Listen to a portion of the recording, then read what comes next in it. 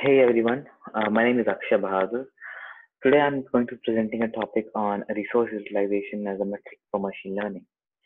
Uh, and in this presentation, we'll be talking about how exactly resource utilization part, which is often overlooked for machine learning, is very important, especially uh, in a developing country like India, uh, where we don't have a lot of resources. So uh, this using these techniques, we are going to make sure that we uh, use the models efficiently and get the most out of uh, every model. So let's get started. Uh, firstly, I would just like to acknowledge uh, ISODS for uh, organizing this event and also making it available uh, for everybody uh, in the world. So I'm currently speaking from India, and I'm pretty sure that my message will be sent across very nicely. So just wanted to thank them for organizing such an event at such a large scale. So just wanted to discuss a bit about myself. Uh, as already mentioned, my name is Akshay. I'm a software developer and engineer for Symantec. I work in the data platform engineering team for Symantec and we work with big data analytics and it's pretty interesting. Uh, also, just a shout out to my managers uh, at Symantec for helping me uh, in my own personal research and also uh, believing in uh, what I'm you know trying to achieve. Also, I'm also an Intel software innovator, which means that I have access to Intel resources, which makes it super easy to do a lot of experimentations. And also, I'm a developer expert for machine learning from Google, uh, which also means that I have uh, support uh, in terms of resources and guidance uh, working with uh, TensorFlow and other technologies. And on the right hand corner, you can see this is my website. So uh, I'll be sharing the links to all the documents and all the slides. So you can, if you want, you can definitely check out my profile uh, uh and my website where I upload all the work that I'm currently doing or or I have already done. So this is the agenda. Uh, we'll go with some of the basic steps like normalization, optimization, certain activations, why, why is it important, and uh, then how is network architecture important. Then we'll discuss a very interesting research paper and how using these techniques that I have discussed above, I was able to get a very good accuracy uh, on a state-of-the-art uh, model. And at the end of it, uh, I'll be discussing about one of the projects that I'm currently working on and how I'm helping, uh, how I'm getting help from Google um, into uh, completing this. Uh, so let's get started.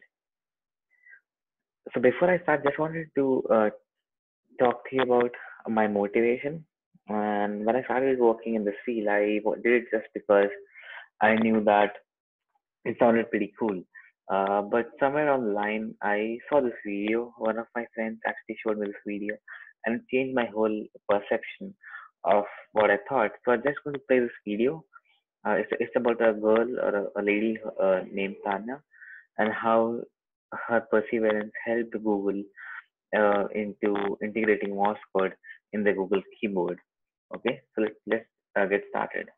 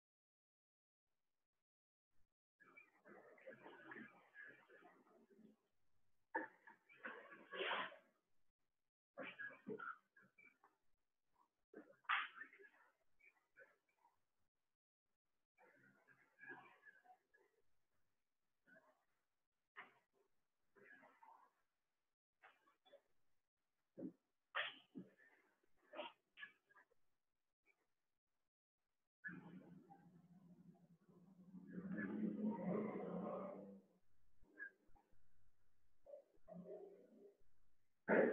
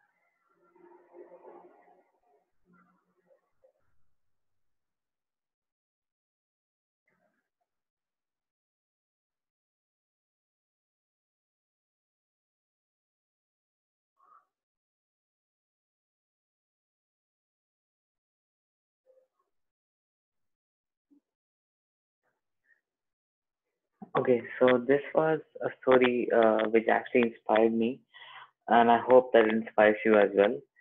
Uh, so let's uh, now move on to the next slide.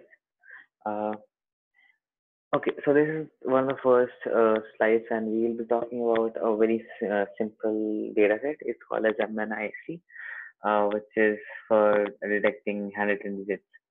So first of all, uh, so this slide, uh, it's going to be a mix of a bit of code uh, and some sort of uh, images, which is going to be the output for that.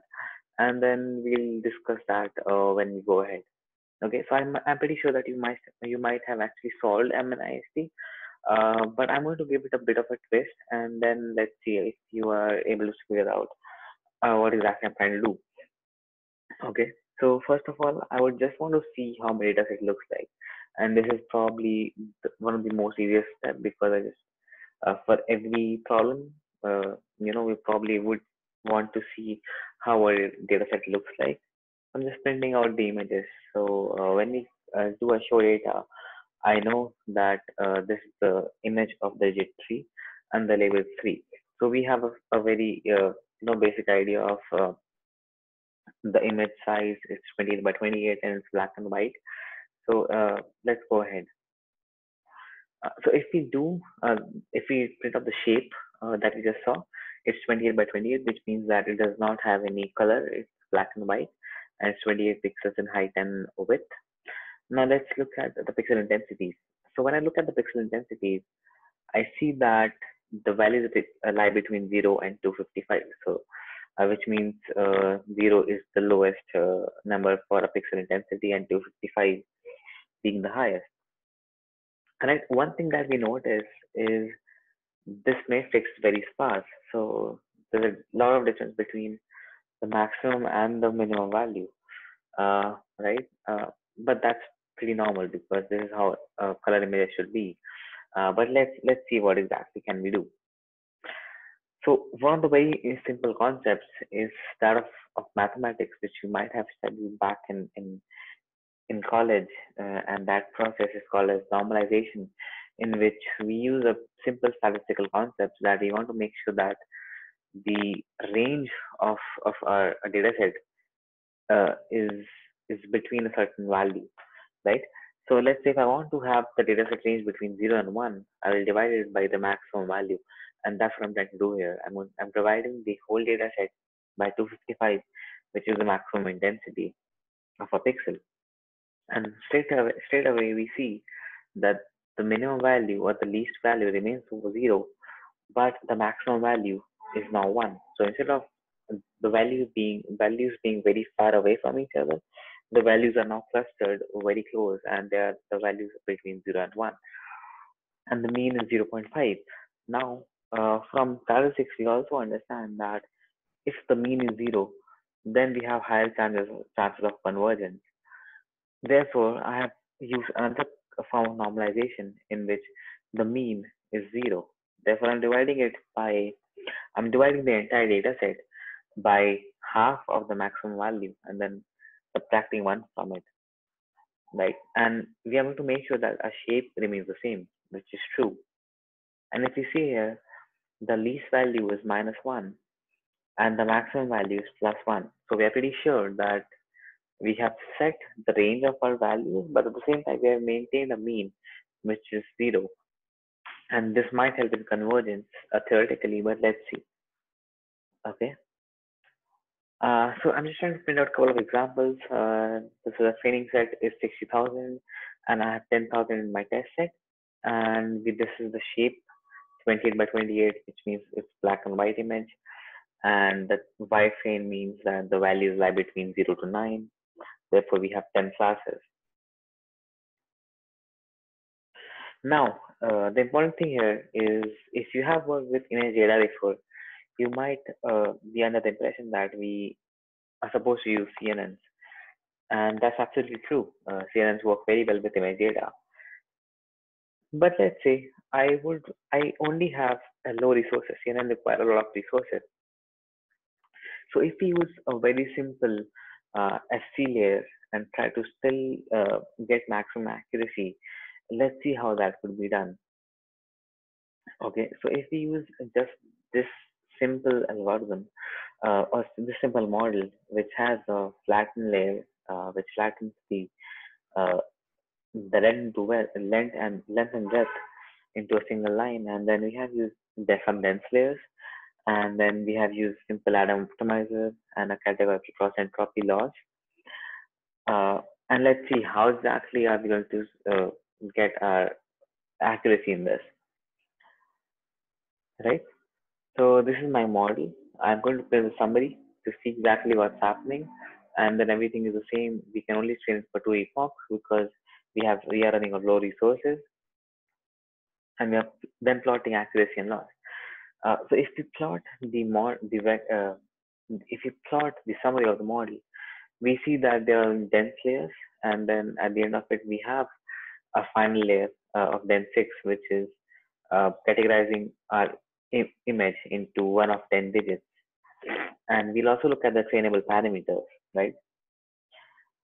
Let's see what happens. Uh, so if we train it for two epochs we see that the accuracy is around 20% in the first epoch and 26% in the second epoch uh, which is pretty okay uh, for a normal model. And to be uh, just to recall, we are not using normalized data. So the data lies between 0 and 255, and we are getting uh, accuracy of 26%. And we are taking 62 microseconds per step. Pretty uh, okay. Now we only do one change. Instead of using unnormalized data, we'll use a normalized data which has a mean of 0.5 let's see how this fits. So everything else is the same. The number of epochs is 2, batch size is 64. Everything else is the same. The only thing that I've changed is instead of X, um, the data, the normal data that we have, is we are using a normalized version of the data in which the, the, the pixel values lie between 0 and 1 and the mean being 0.5. Now, immediately we see that instead of getting a 20% accuracy, they are hovering around 93%. So with only a simple mathematical approach, we have increased our accuracy by four times, uh, which means that we have to train for lesser epoch to get higher accuracy, and hence we are saving on resources. Okay, and just to be very clear, we are training it right from scratch. Therefore, the validation accuracy has improved from minus infinity uh, to 95% and then finally to 96%. Right, and now if we used uh, a, a normalized data with, with mean zero, we still get similar accuracy of about 82 to 85%, which is pretty okay. And uh, we are still getting four times the accuracy from the unnormalized data, uh, although it's not higher than the 0.5 normalization normalized data, but still. So just wanted to make you guys understand that we are using a very simple concept of normalization, which you guys must have heard of uh, back in statistics in, in your college. Uh, but just a single line of code, which is very easy to understand and very easy to implement, can affect your accuracy up to a very high extent. Okay.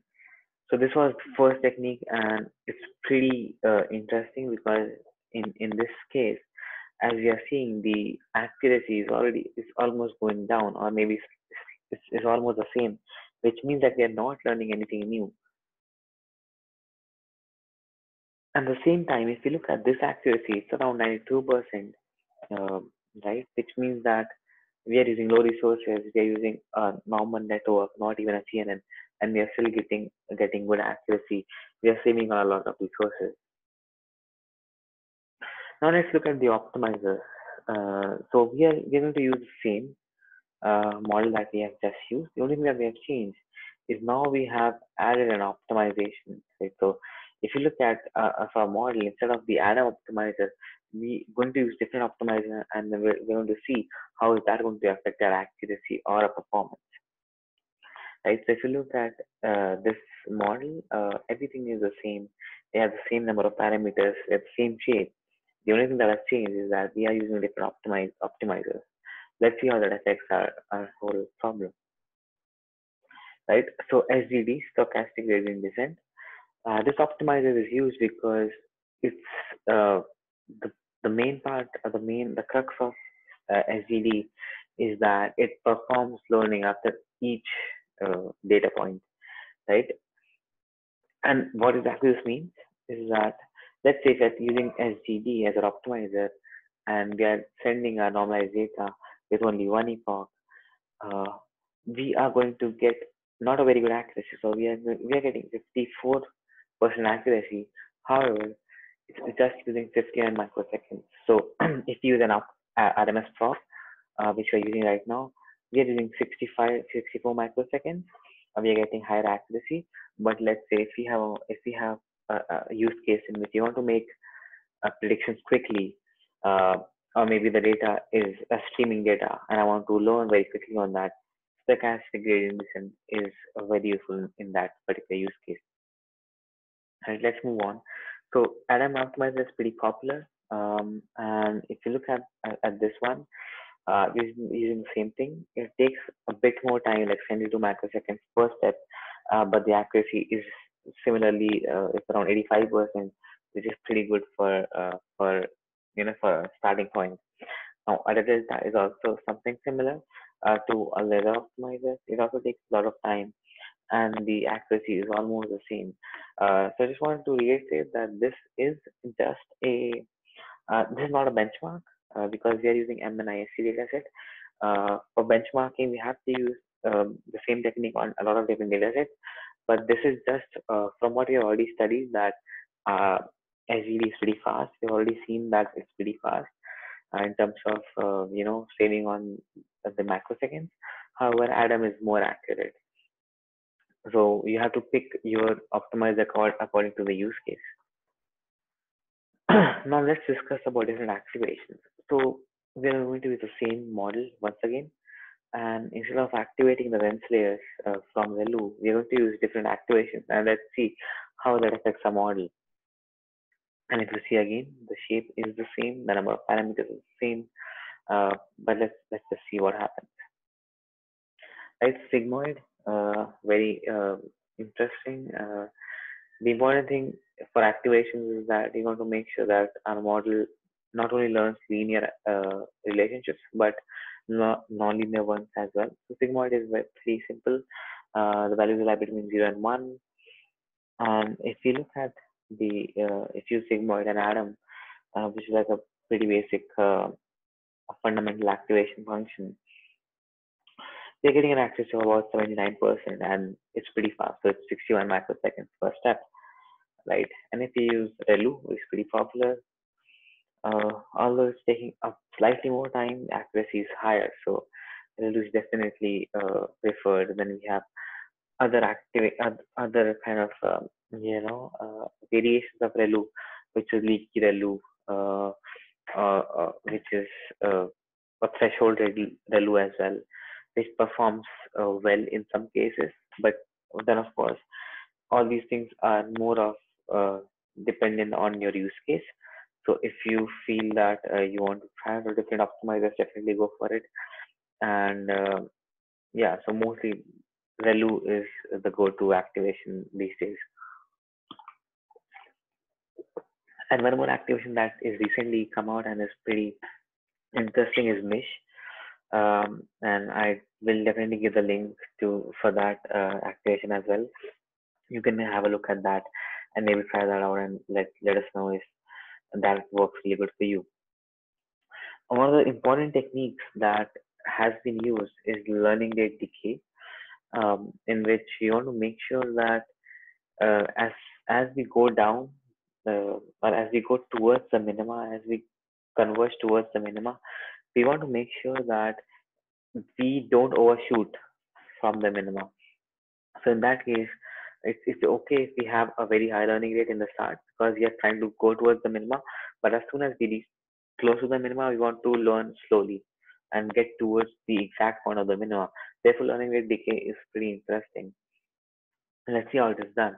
So in, in Keras, what we have done is we have used a callback and on each callback, uh, what I've done is that I'm getting the learning rate and then I'm dividing it uh, by the number of iterations. So this is what happens. And I'm also also printing it so that it becomes clear that after these many epochs, my my uh, learning rate is, is uh, decreasing.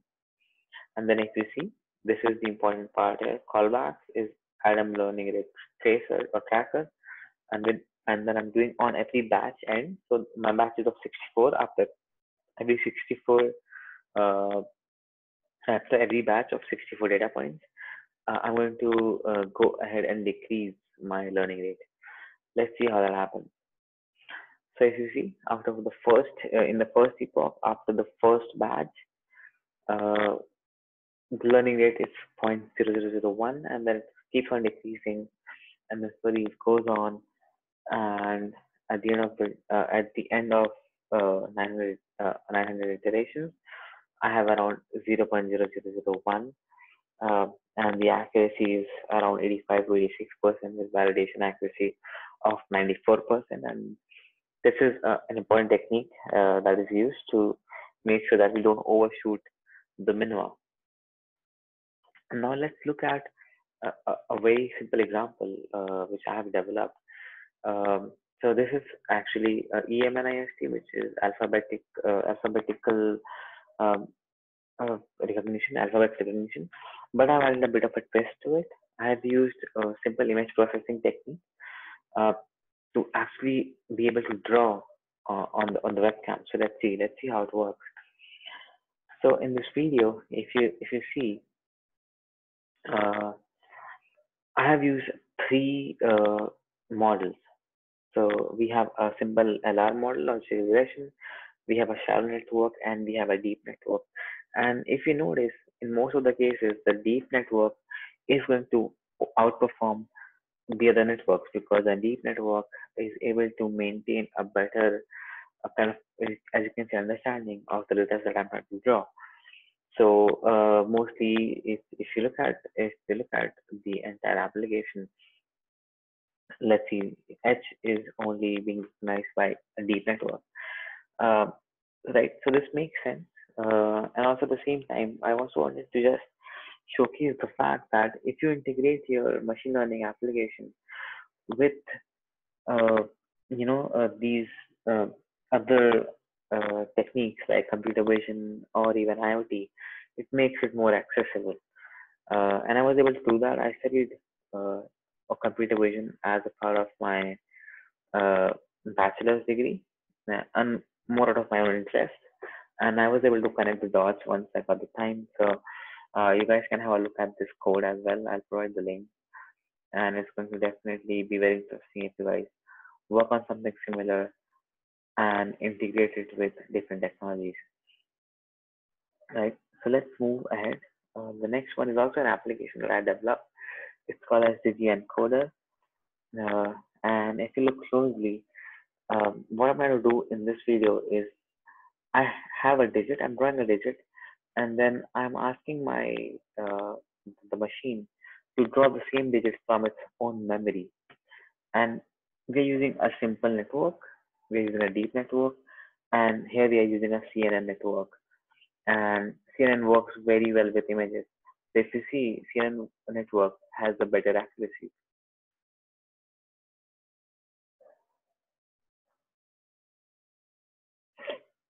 So if you see clearly, CNN is able to draw a better image uh, from its own memory, right? So this makes sense, and this is also present in my GitHub. So if you want to have a look at that, it's pretty interesting as well, right? So let's move on. Uh, so the second thing that we want to discuss is network architecture optimization and how crucial is the network architecture. And in order to do that, we'll be using the CIFAR 10 uh, dataset. Let's look at the dataset. It has 50,000 examples right here, and we are using test examples as 10,000. Now, important thing, important thing to notice here is that it has three channels. So this means that this is a color image of 32 by 32 height and width. and also at the same time, it only has uh, 10 labels. So each uh, image is one from the 10 labels that are specified. So once again, what you want to do is you want to see how the data looks like.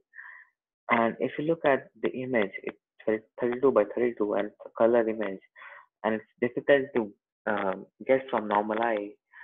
I think it's a toad and the label is given as six. So yeah, so this kind of um, kind of makes us understand that if us as humans are having difficulty uh, understanding it, uh, machine is going to suffer a lot when it's trying to uh, predict which image belongs to which class. So the first thing that we're going to do is we're going to use a fully connected architecture, which means that we will not use a CNN. So we are using something similar that we have used in our previous uh, uh, the previous examples as well. So we have flattened the uh, the image uh, into 32 by 32 by 3 and then using, we are using a dense uh, network, uh, sorry, dense layer, then another dense layer, then a bit of dropout because you want to don't want to overfit, and then again a dense, and then finally after dropout we have a dense uh, for our output layer into the number of classes. We're using a simple categorical class cross entropy loss because we know that we have 10 classes, optimize the random, and we are monitoring accuracy let's look at how we frame that.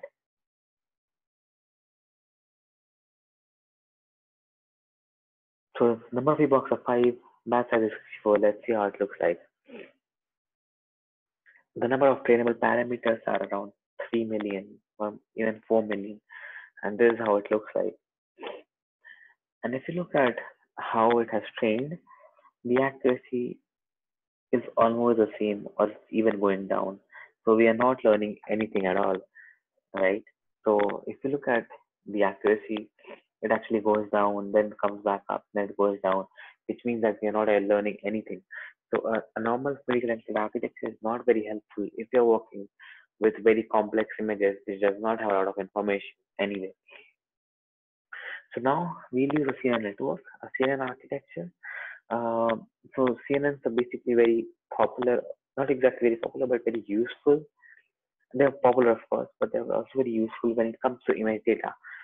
To know why, uh, you're going to have to read a lot uh, about CNNs, but just to give you an understanding, if you look at the CNN layer, what we're trying to say is that we are going to use 32 different filters, and each of these filters are going to remember one aspect of the image.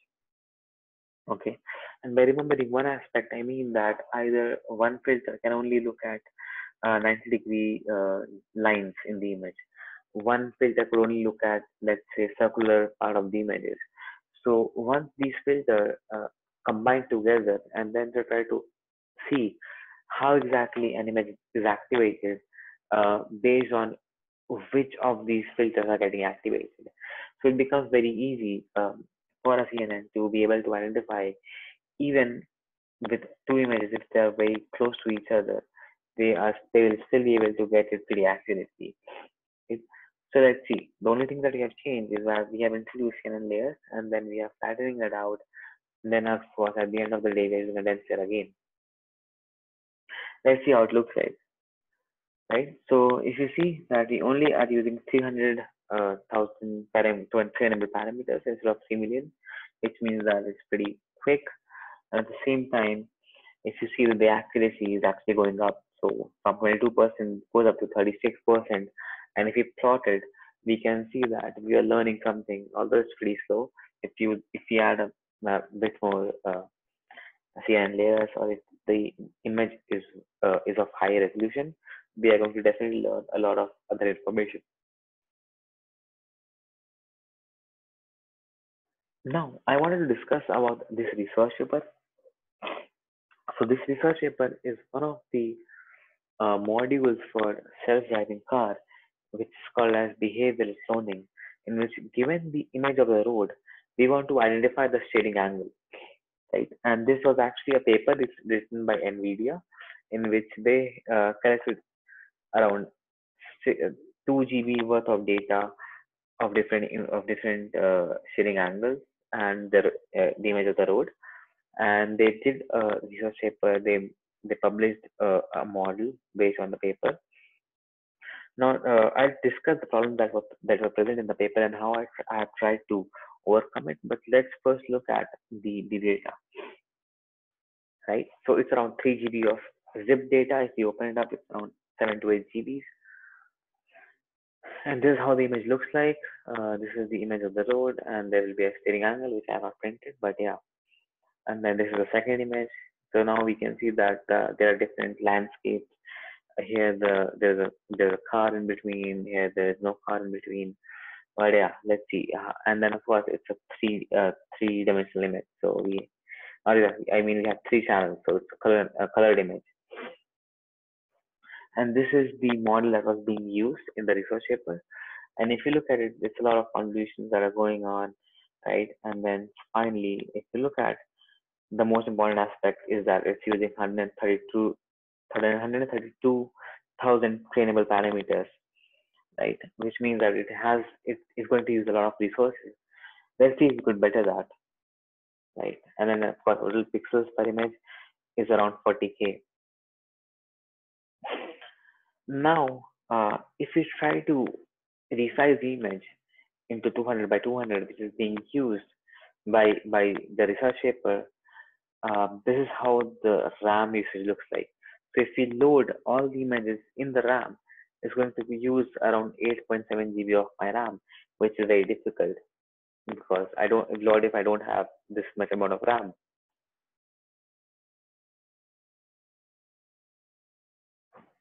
So now we'll discuss about how can we handle this out of memory issue.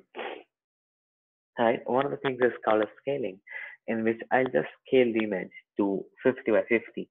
So if you look at this uh, this function, what it does is that it takes each image and then it pre-processes the image in which I'm resizing it or scaling it.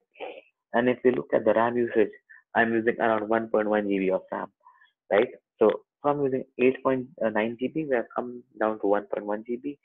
Uh, but the problem is that we might have lost some information. Uh, but for that, uh, we have to go through the next slide and we'll discuss about that problem as well. Now, if we use a 50 by 50 by 3 image, um, right, and then I'm using some sort of similar model that was already being used, I'm still using 130K trainable parameters.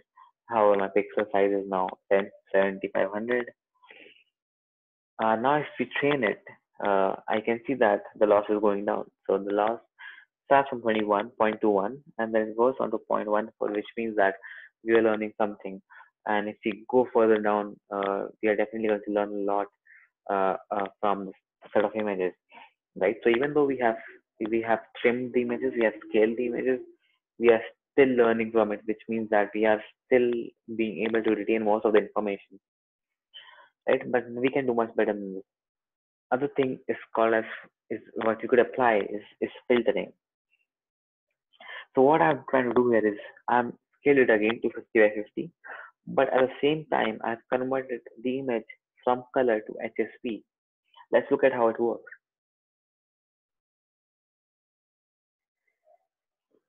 So if you look at this image, you can see that there's a clear distinction between the road and the sky because what HSV does is that it plots the uh, what can you say the gradient or the darkness level of, of certain portion. So if you see that in this area the road is especially dark, so I'm hoping that my model learns from this and then ignores the rest of the image. And let's see how it looks like. So I'm going to use the same functionality that we have just used. We have used a pre-processing function, which processes to uh, store the images as HSV. And now instead of using 1.1 GB of RAM, we are just using 760 MB of RAM. So if we have very low resources, or if we're doing it on edge computing, we can still use 750 MB of RAM and still and still be able to train the model on an edge device, which is very difficult to do. Now let's see. Uh, so now using this technique, we have decreased our trainable parameters from 130k to just 30k, right? And let's see, because what we want to do is we don't want to lose out information from our image. Let's see if we are able to train it or not. Or not. And of course, total pixels per image is 2500 because it's just a black and white image now. So if you train it, we see that the loss is going down. So it starts from around 20, uh, 0.20 or 0.21 and then it goes down to 0.16.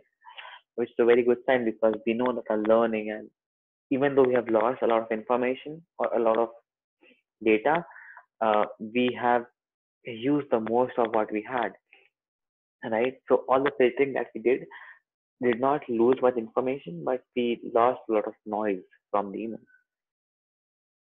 Uh, and the third technique is using a, a, a technique called a city generator function from Keras, in which what I do is you I have used a generator function, which is called a generator from path, and it gets only that particular batch from the data set.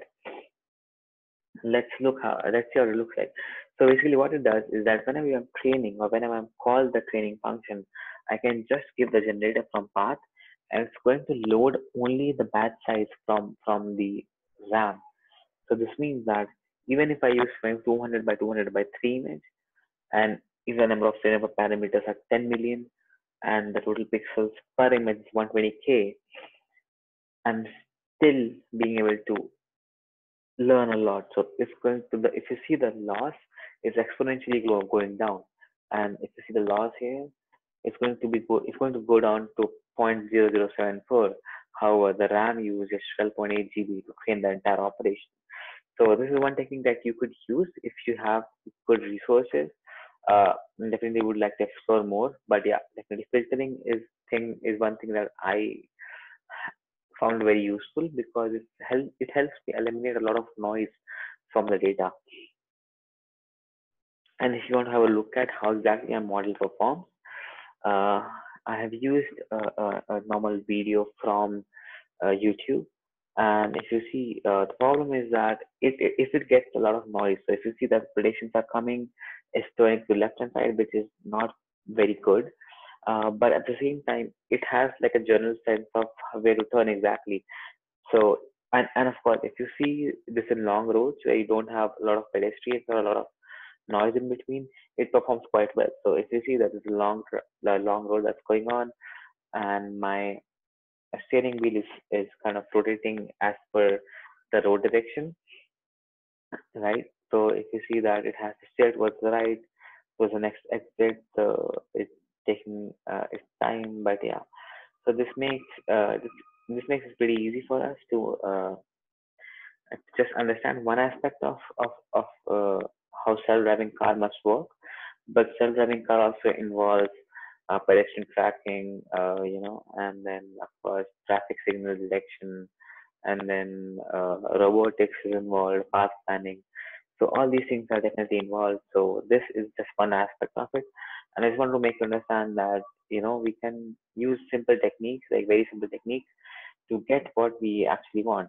And I've this, this on my old laptop, and this is running on my old laptop. And if you see, because we are doing a lot of pre-processing, we are getting an FPS of about 40 FPS, which is near real time, right? So with that in mind, let's let's move ahead. Uh, so we are almost coming towards the end of the presentation. I hope you got a lot of things to learn. Uh, just wanted to discuss one of the things that I'm currently working on. It's called as Deep Sign or, or Indian Sign Indian Sign Language. Um, so the problem, the, I just want to discuss the problem statement with you guys first. Is that 14 million people in India are suffering from speech and hearing impairment, right? And within 80 kilometers, the sign language in India changes and this is my own personal uh, dilemma because uh, I wanted to develop an application which could recognize sign language uh, for deaf and mute people so that they can communicate. But but in India, because we have a lot of regional diversity, uh, each region has its own sign language because uh, there is not a central authority that kind of uh, regulates this. Right. So I've come something of my own. I made a prototype uh, uh, which uses machine learning and uses image processing, computer vision to get something started. So I just wanted to show a, a very qu a quick a quick prototype of this. Okay, so if you see, uh, I am using a lot of, lot of filters to just train or to just uh, work on this part of the image, right? So even though you can see that I have a lot of noise in the background. I have a lot of uh, uh, you know uh, background images, but still, because I use a lot of filters, I'm able to work in near real time because I filtered out the entire background and I've just kept my facial key points and my hand gestures. So this makes it pretty easy for uh, for somebody who does not have a lot of resources to still use this application without the internet, right? So if we if we go ahead and if, if I show you uh, if you want to have a look at the entire project, it's there in my YouTube channel and uh, although I have not open sourced the code yet because I'm still working on it, but then if you want to understand the whole journey, you can reach out to me. And of course, in the YouTube channel, you can find other prototypes that I have developed for the same application um, there as well. Right. So of course, I would want to address a lot of Q and A's from for everybody, but of course, because this is a uh, a virtual uh, kind of a, a, a conference, uh, a YouTube conference. Uh, if you want to have any questions, you can post them on YouTube or uh, you can post them on my GitHub. I'm going to share the links to everything that is present here, um, including the slides and the code lab uh, Colab notebook. And you can ask your questions to me on GitHub or on YouTube, and I will try to answer each and every one of your queries or questions. And of course, if you want to work with me on some of the projects, you can visit my website, uh, which is present right here. You can visit my website, and then we can definitely uh, think of something. And I would love to collaborate with each and every one of you. And of course, just wanted to say thank you for uh, this opportunity. I had a lot of fun. I hope you got to understand at least oh, one new concept, and I hope you that you use that to actually help someone um, in need. And I think that that is, that is the whole essence of technology right? So this is me, Akshay Bahadur. I'm signing off. Signing off. This is the Bitly link, uh, bit.ly slash ISODS hyphen 19. Uh, I'll share the link with you. If you click on this, you will be transported to my GitHub page, which has the exact same document, uh, exact same slides that you just saw. It's going to have uh, uh, uh, the Colab link, and of course, you can find me on my uh, website as well. This is Akshay Bahadur signing off. I hope to see you guys soon. All right. Bye. Take care.